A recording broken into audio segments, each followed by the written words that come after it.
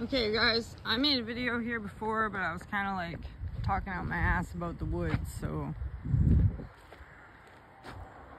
Okay, let's stick to the rock, right? So, I watched a video especially for you guys this morning about this rock, okay?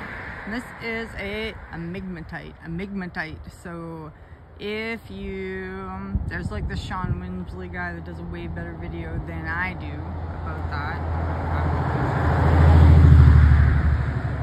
You can see there, I guess there's some in Utah and there's some like probably outside of Kamloops.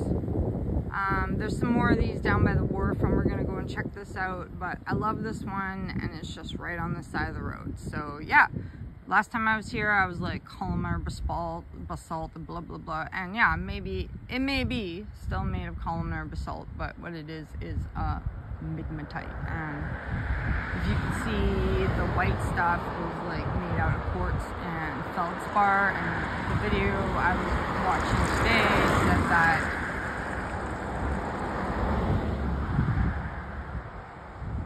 it's the first to melt and the last to cool. So, and that's why you got these like stripy things. So the rest of the rock was hard. That melted and then like swirled around in there and it has that look because it is, of it was hard. Anyways, I better get out of here because everybody's probably like, what's that weird girl doing? While I'm making a YouTube video about cool migmatites, migmatites.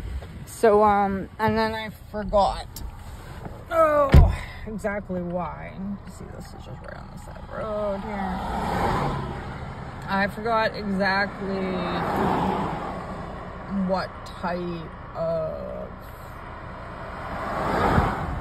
circumstances that guy said made this, but he did say what was cool is it's like metam igneous rock changing to metamorphic rock, right? Like there's the change.